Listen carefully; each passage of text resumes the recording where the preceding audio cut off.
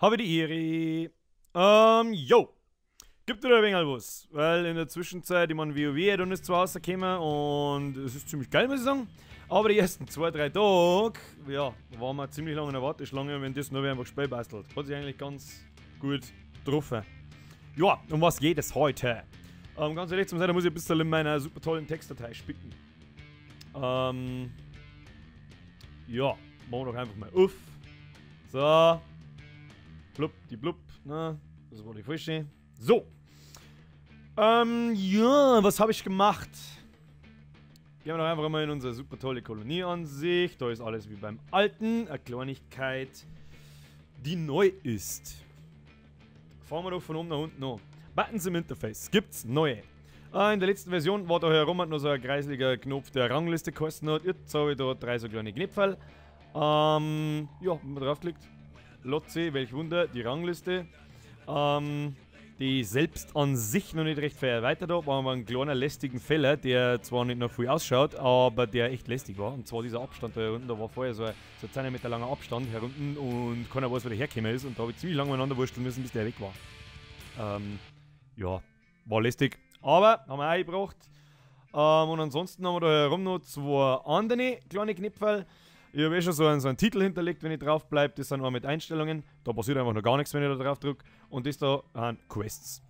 Ähm, ob das da so ein kleines Fragezeichen wird? Ja, es wird übrigens Quests geben. Das war jetzt so eine, indirekte Ankündigung. Die wird es noch nicht zur Alpha geben, so gegen Weihnachten, weil das einfach, das wird krass. äh, außerdem ist mir da noch nicht recht viel eingefallen. Also so Standard-Scheiß-Quests und es sollen keine Standard-Scheiß-Quests sein. Und eben die Rangliste. Das sind einmal drei so Knipferl, die man einfach essentiell im Spiel braucht. Und ich wollte es vermeiden, dass ich da herum noch mehr Text einschreibe, außer mein, quasi meinen Spielernamen und ein kleiner Logout-Button rechts herum. Ähm, und das soll ja so bleiben nach Möglichkeit. Äh, Soweit, so gut. Was haben wir noch gemacht? Was ein bisschen mehr Arbeit war und ein bisschen was Besondereres ist. Besondereres, ja genau. Planetenrotation, Bewegung im Cronjob. Das bedeutet, gehen wir doch einfach mal in Karten. Ähm, ja, da lassen wir uns mal nicht irritieren. Ich bin momentan ein bisschen beschäftigt mit dieser Linienzeichnung. Ähm, deswegen stehen da herin so Koordinaten. Ähm, ich sage ja klar in meinem Fehler, warum die dies noch nicht vorstellt, dass fertig ist. Und zwar, wenn ich die verschiebe, fährt die scheiß Linie mit und springt dann da runter. Genauso wenn ich wieder zurückfahre und dauert so ein bisschen blub. Ja, schaut scheiße aus, mag ich so nicht haben. Ähm, soll natürlich anständig funktionieren. Aber um was es eigentlich geht. Klicken wir mal da her. Ins System, wo die Planeten sind. Ähm, ja, das schaut jetzt halt eigentlich fast aus wie das letzte Mal auch. Und das ganze Ding funktioniert leider Gottes noch nicht live. Das heißt, wenn ich währenddessen ich mir jetzt auf der Seite aufhalte, ähm, gibt es zwar im Hintergrund schon eine regelmäßige Abfrage, ob sich diese Planeten bewegt haben oder nicht. Sie werden allerdings leider Gottes noch nicht animiert, das heißt von links nach rechts verschoben. Aber wenn ich die Seiten einlade, werden es das bereits. Ähm, die Geschwindigkeit, wie schnell das der Planet da von links nach rechts fährt, das ist, wenn wir mir daher gingen, ähm, die Rotationsperiode. Äh, und zwar fährt das Ding, ist beispielsweise mal unser Erdplanet da, in 120 Minuten. Das heißt quasi in 2 Stunden fährt das Ding einmal von links nach rechts. Schauen wir uns zum Beispiel Alduino, dann braucht der schon 4 Stunden.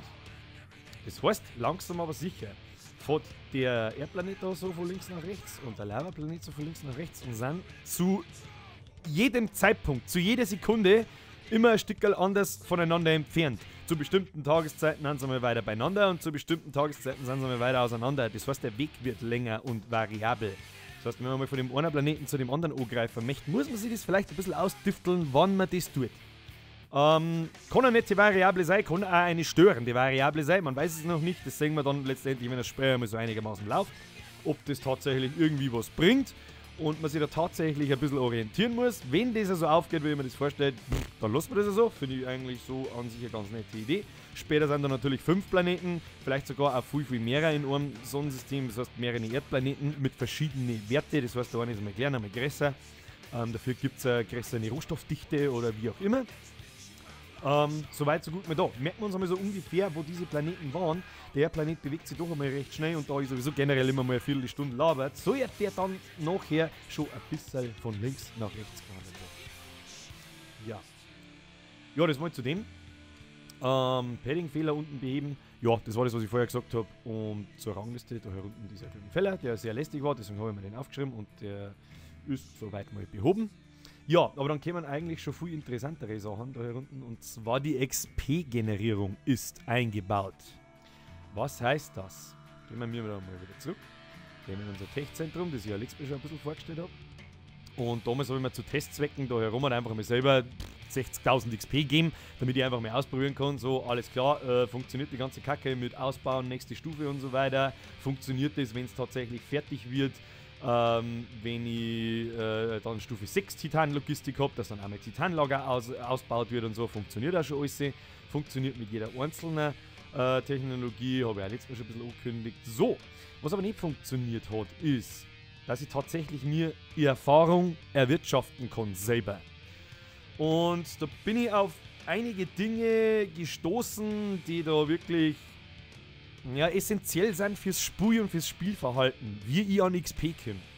Ähm, früher, in unserer ganz alten Version von vor Simio, ja, ziemlich genau sogar Simio, mittlerweile werden es dann 8 Jahre, war es so, dass je weiter dass man das Technologiezentrum ausbaut hat, desto her ist so eine stündliche Generierung geworden. Das pro Stufe kriege ich, keine Ahnung. Äh, Stufe 1 kriege ich 10 Erfahrungen pro Stunde, Stufe 2 dann 20, 30, 40, 50 und so weiter. Und damals sind äh, Stufen bei weitem nicht bis 30 gegangen. Ähm, und damals haben wir das einfach so gemacht. Dafür hat es keine Erfahrung gegeben, ähm, für alles andere, für alles andere, wo du eigentlich Erfahrung kriegen sollst. So, ich orientiere mich da so ein bisschen an dem Skyrim-Konzept, weil das da eine oder andere, also so ziemlich alle, die Computerspiele haben dieses Ding gespielt. Ähm, da levelst du ja auch nicht mit äh, behindert irgendwelche Quests machen, sondern du levelst die in den Bereichen, die du auch tatsächlich machst. Jetzt ist bei mir natürlich nicht so, dass ich dann extra XP verteilen mag für den Bereich Lager und Logistik, für den Bereich allgemein, für den Bereich mobiler Rohstoffextraktor. Das heißt, nicht, da, da musst du nicht bestimmte Lageraktivitäten machen, wie ständig da irgendwelche Sachen verteilen oder so, damit du XP generierst. Das ist ja irgendwie gar nicht zu machen, weil dann sitze ich den ganzen Tag einfach bloß da und verteilt zum Beispiel meine Harvester da herin rein und kriegt dafür XP. Äh, pff, das ist ja totaler Scheiß.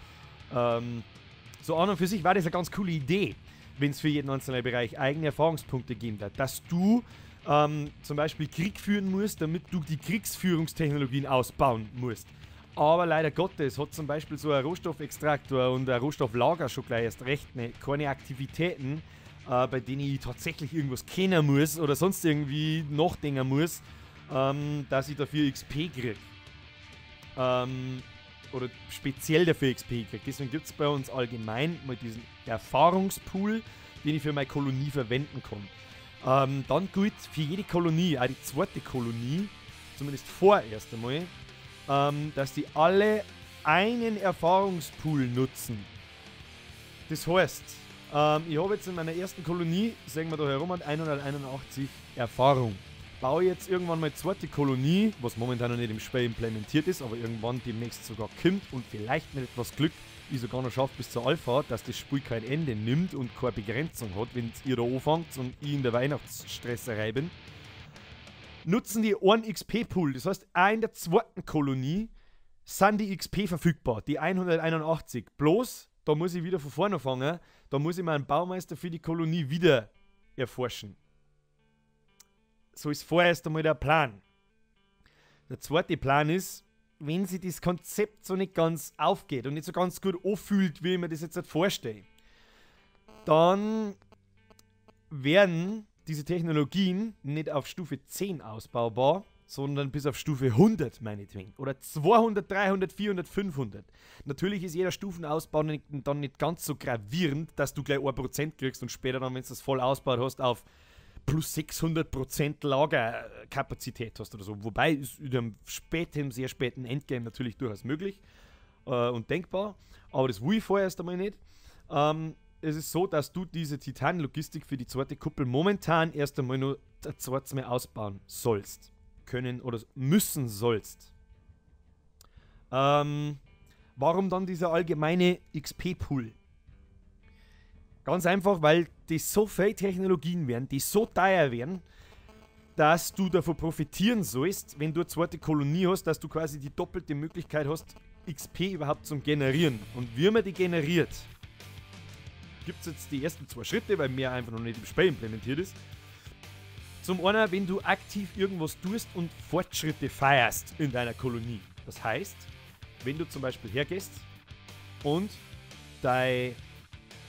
deine Gebäude ausbaust, wenn die fertig werden, kriegst du dafür Erfahrung, einen bestimmten Wert. Natürlich, je her, dass du das ausbaust, desto mehr Erfahrung kriegst. Das ist eine kleine, stinknormale, Bempal einfache Formel. Ähm, die ergibt sich daraus, was das Gebäude im Endeffekt wert ist. Das messe ich aus, entweder aus den Rohstoffen oder am Energieverbrauch und an der Stufen. Und ich gehe dann einfach her und nehme die Stufe mal den Energieverbrauch. Das war in dem Fall jetzt auf Stufe 12. 12 mal 4. Dann muss ich selber rechnen, das sind 48. Äh, ja, das ist richtig. Dann kriege ich 48 äh, Erfahrung, sobald das Gebäude fertig ist. Und dann habe ich noch so einen kleinen Multiplikator eingebaut, weil 48 ist jetzt echt ein bisschen wenig für ein Gebäude. Ähm, wenn man da so herschaut und dann kostet diese Lagerlogistik schon mit 242. Dann ist so ein kleiner Multiplikator drin, der das mal 1,5 nimmt und so weiter und ab mal 2,5 und je nachdem, wie teuer dass das Gebäude wirklich ist, das kriegt man dann mit der Zeit auch selber aus, was man jetzt da wirklich Erfahrung hat und so kriegt und so weiter. Ähm, und dann stellt man die Erfahrung zur Verfügung. Ich kann dafür erforschen und kriege quasi für meine Aktivitäten tatsächlich Erfahrung, was sie durchaus realistischer anfühlt, weil ich selber was dafür tun muss und ich möchte ja auch die Leute dazu bringen, dass, ich was, dass, man, da, dass man halt davor sitzt, damit man sich damit beschäftigt, damit man nachdenkt, was baue ich jetzt am Schlauen äh, als nächstes aus. Ähm, was, ja, wir, wir machen es am geschickten, damit ich am schnellsten vorwärts komme. Ähm, und das ermögliche ich auch durch das, dass ich mir erst einmal vorstelle, so was bringt mir das meiste, wenn ich jetzt das Gebäude ausbaue und gleichzeitig an Technologien denke. Ganz einfach.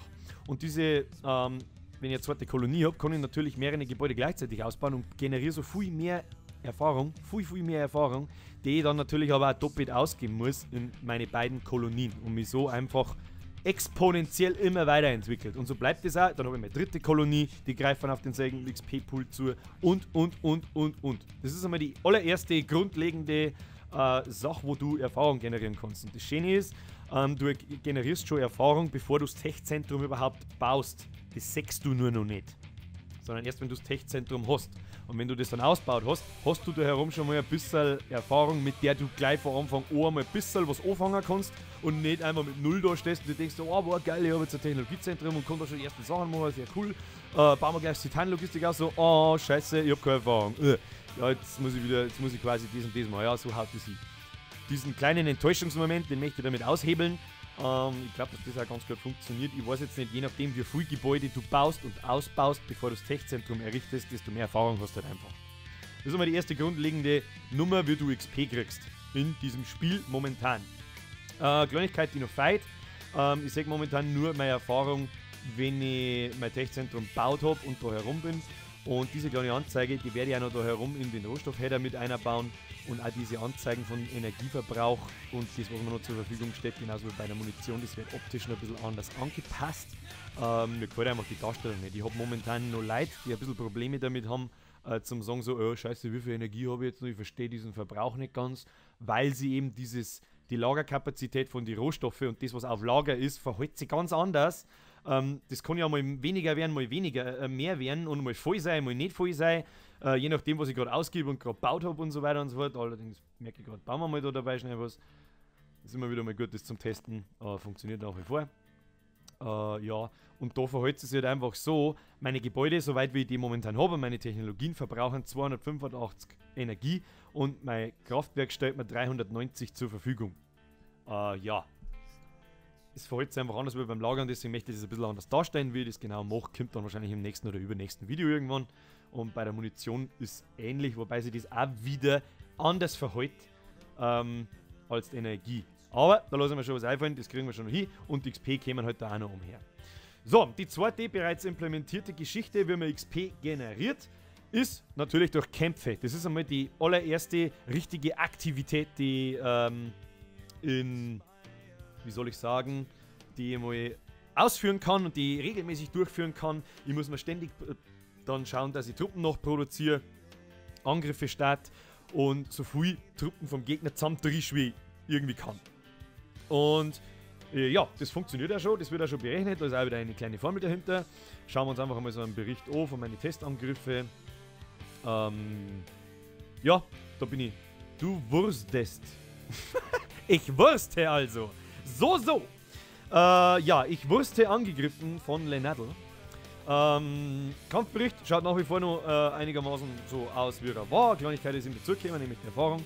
Und zwar, schauen wir uns doch einfach einmal an. Äh, die Angreiferin in dem Fall äh, war Lenadl mit der Nadels Überkolonie. Äh, der Verteidiger war ich mit meiner Birkster Todeskolonie. Ähm, gesendet hat es mir zwei Marines, überlebt haben davon null. Stationiert bei mir waren drei Marines, überlebt haben zwei. So, das bedeutet, ich hab ihr zwei Marines zusammengehaut, somit ihr komplette Armee, wenn man das Armee nennen kann, zusammengehaut und bin der Sieger des Angriffs. Das werde ja optisch noch ein bisschen markieren, wer von den zwei Seiten quasi der Gewinner aus dieser Geschichte ist. Man, man kann sich denken, wenn beim Gegner keine mehr übrig sind, aber so ein kleiner grüner Rahmen oder so ein kleines Sterndal oder irgendwie so, war mit Sicherheit ganz nett. Und dann haben wir natürlich da beutemäßig, hat der natürlich keine mit nach Hause zu nehmen, ähm, da ja auch nichts überlebt. Habe auch schon darüber nachgedacht, ob man das dann vielleicht da ausblendet und nur Beute sagt, wenn er wirklich was mit heimnimmt und der Sieger ist aus der Geschichte. Verkürzt vielleicht auch die Rechenzeit und ja. So, aber das ist neu. Erfahrung, Erfahrung. Ich habe jetzt da mal nur das Wort Erfahrung hingeschrieben, weil es einfach kacke ausschaut, ähm, wenn ich da jetzt das XP-Icon hinmache, was nichts anderes ist wie ein ganz rotes Kreisel mit einem gelben XP drin. Ähm, aber wir sehen mal, ich habe Erm. Erm sage ich, ihr zwei Truppen zusammengehauen, das überlebt nichts, das heißt, ich bin der Sieger, in dem Fall der Verteidiger. Ich kriege dadurch 8 Erfahrung. Wir setzen sie die zusammen. Wir nehmen die zwei Marines mal ihren Munitions- und Waffenverbrauch, der eins ist, das heißt zwei insgesamt. Zwei Munition und Waffenverbrauch habe ich ihre quasi zerstört in der ganzen Armee. Und dann kriegt der Sieger einen Erfahrungsbonus von mal 4. Das ist jetzt einmal mein erster Richtwert, ich habe mal ein bisschen so ausprobiert, was dann realistische Zahlen so im ersten Moment äh, ausmacht, wenn man so einmal 10, 5, 20 Einheiten schickt, zusammenhaut vom Gegner und so. Die sind momentan noch relativ kleine, dann kommen da anständige Erfahrungszahlen raus, mit denen man am Anfang auch arbeiten kann vergleiche mit den Kosten, was so die durchschnittlichen ähm, Technologien einmal kosten. Und momentan ist einfach Erfahrung äh, der einzige Zweck dafür, dass man damit Sachen erforscht. Momentan gibt es ja noch nicht recht viele Technologien, aber wie schon versprochen, das werden so Feywiesen irgendwie unterkriegt. Ja, äh, wie gesagt, der Sieger aus der Runde kriegt einen Erfahrungsbonus von 4 und der Gegner bzw. der Verlierer kriegt einen von 1 2,5. Äh, Schmaretz stoppt 2,5. Das heißt, er kriegt ein bisschen weniger ähm, Erfahrung an sich fürs Zusammenhauen von Truppen. Er hat mir ja bloß eine zerstört und kriegt dadurch eine Erfahrung mal 2,5 ist 3. Oder? Ja, doch, ist 3. Sollte schon passen. Bin jetzt bescheuert? Na, passt schon. 1,5 mal äh, 2 ist dann 3. Er kriegt 3 Erfahrung. So, warum ist das so? Ganz, ganz einfach. Wir haben ja Erfahrungen gemacht, damals vor 7, 8 Jahren, dass die Leute irgendwann auf die Idee kämen, eine Truppen durch Erfahrung zum Traden und sie da gegenseitig absprechen. Was hast du Truppen bei dir daheim? Darf ich dir regelmäßig billige Truppen schicken, damit ich meinen Erfahrungspool aufwerten kann? Ähm, bringt aber nur dann wirklich was, wenn du als Sieger aus dem Ding außergehst. Und damit beide Seiten da ordentlich zahlen dafür und ordentlich Truppen liegen lassen. Meinetwegen kann das nach wie vor, und das wird auch passieren, dass sie dort Leute absprechen, sollen sie das weiterhin machen, ähm, aber es soll ordentlich was kosten. Und derjenige, der da als Sieger hervorgeht, der soll einfach ein bisschen mehr kriegen. Weil es ist ja nicht so, dass das Leute nur so machen, dass sie sich gegenseitig auf die Nuss hauen, sondern es war vielleicht schon auch nicht schlecht, wenn ich ihm so auf die Nuss hau, dass es ihm richtig weh tut. Mir gar nicht. Ich hole Erfahrung aus und hole Beute aus. Das ist ja einmal der Haupt, das Hauptding, warum ich eigentlich angreife damit ich schneller meine Rohstoffe zu mir schippert, damit ich schneller ausbauen kann, nicht lang warten muss und, und, und. Ähm, und das, diese Aktivität, die ich da mache, die geht natürlich mit jeder weiteren Kuppel natürlich auch ins Exponentielle nach oben. Habe ich eine zweite Kuppel, kann ich auch viel mehr Angriffe gleichzeitig schicken. Ähm, das ist auch was, was noch kommen wird, ist noch nicht implementiert, dass man pro fünf Stufen in der Kaserne einen Angriff verschicken kann. Das heißt, von Stufe 1 bis 5 kann ich maximal einen Angriff wegschicken. Bis dahin, bis die Truppen wieder zurück sind, kann ich nichts anderes verschicken. Hat auch wieder einen bestimmten Grund. Es gibt Leute, die schreiben da dann nämlich eins einer. Ich konnte es ja auch mal demonstrieren, äh, was da dann genau passiert. Und machen dann so. Erster Angriff, Moment, da muss ich tatsächlich noch mehr Zahl einschreiben. Zweiter Angriff, dritter Angriff, vierter Angriff, fünfter Angriff, sechster, sechster Angriff, siebter Angriff und so weiter. Und dann haben wir wieder den Effekt, ich schicke am Gegner lauter einzelne Truppen. Was passiert? Der Gegner haut mir den natürlich zusammen, kriegt aber fett XP dafür. Ohne dass er wirklich viele Einheiten verliert. Und das möchte ich vermeiden. Ich meine, das könnt ihr dann schon gern machen. Äh, lauter einzelne Truppen verschicken, aber ihr kennt das nur einmal gleichzeitig und nicht 38 oder 200 gleichzeitig oder wie auch immer. Und das nächste, was passieren wird, ähm, je weiter man Kaserne ausbaut und das Waffenzentrum und so weiter, die Kaserne kriegt eine Reichweite. Das heißt, du kannst dann über die ganze Map angreifen, damit du beispielsweise über die Nacht, wenn du nicht am PC sitzt, deine Truppen 12 Stunden auf den Weg schickst und dann die 12 Stunden wieder zurück brauchen, weil du jetzt mal gerade nicht am PC hinkommst, dann haben deine Truppen nämlich in Sicherheit so lang. Äh, gut, mit Pech hat derjenige in 12 Stunden natürlich Truppen da und haut es da zusammen, aber es ist immer noch besser, als wenn du nicht kontrollieren kannst und in der Zwischenzeit angegriffen bist und das nicht mitkriegst. Will ich damit auch verhindern, das ist das nächste. Natürlich lassen sich diese Dinge durch Technologien wieder erweitern. Die Reichweite lässt sich erweitern. Vielleicht lässt sich ja die eine oder andere Technologie machen, dass man ein, zwei, drei Angriffe mehrer gleichzeitig fahren kann, als es die Kaserne selbst hergibt. Und so weiter und so fort. Aber die XP-Generierung ist eingebaut, die Rangliste haben wir. Ähm, die ersten Schritte sind soweit getan. Die nächsten Sachen, an was ich arbeite, ich habe mich ein bisschen beschäftigt mit der Optik. Äh, habe ich langsam einmal angefangen. Gibt es allerdings noch nichts zum Sagen, weil ich nicht wirklich angefangen habe zum Zeichnen, sondern nur wirklich auf einem Blatt Papier, wie ich mir das ungefähr vorstellen könnte. Wie das ausschaut, zeige ich in den nächsten Sachen. Ich mag jetzt auch noch nicht zwei verraten, weil ich einfach noch nichts zum Vorzeigen habe und gar nicht weiß, wie das, ob das letztendlich dann hinhaut. Und was auf alle Fälle als nächsten Schritt kommen wird, ist der mobile Extraktor. Da habe ich momentan noch gar nichts gemacht. Der wird beim nächsten Mal, ich glaube, das wird der nächste große Schritt, der dann funktionieren wird. Ähm, ja, und dann schauen wir weiter. Und so Dinge wie eben die Linienzeichnung, ist jetzt ja kein Weltuntergang, wenn die einmal von Anfang an nicht funktioniert. Irgendwie kriege ich das dann schon hin. Man schaut sehr, das sagt selber, die hängt irgendwo umeinander und tut, was es möchte. Mit dem habe ich leider nicht gerechnet. Und ja, kriegen wir aber auch noch hin. Und ja, dann sage ich soweit vielen, vielen lieben Dank. Ah, vielen lieben Dank für an diejenigen, die sich das wirklich auch immer noch 20 Minuten lang anschauen. Äh, sehr cool. Und danke für die Kommentare, es motiviert. Äh, ich hoffe, dass ich einigermaßen was Vorzeigbares hinkriege bis zur Weihnachtswoche. Ist ja noch ein bisschen hin, so ist es auch nicht. Allerdings äh, zückt mir WoW gerade ein bisschen ab, muss ich sagen. Ähm, fühlt sich wieder so ein bisschen an wie vor 10 Jahren. Bisschen, wenn wir mehrere Leute warten, wir müssen ja doch alle arbeiten und so. Ähm, jo. Soweit, so gut. Dann sage ich vielen Dank fürs Zuschauen. Ich freue mich über jeden Like, jeden Share. Verzeiht es langsam aber sicher mal ein wenig weiter an eine Kumpels, die auch gern vielleicht was zocken wollen oder so gern zocken. Ähm, bleibt cool. Und dann wünsche ich euch eine angenehme Nacht oder einen angenehmen Tag. Und bis zum nächsten Mal. Habe die Ehre.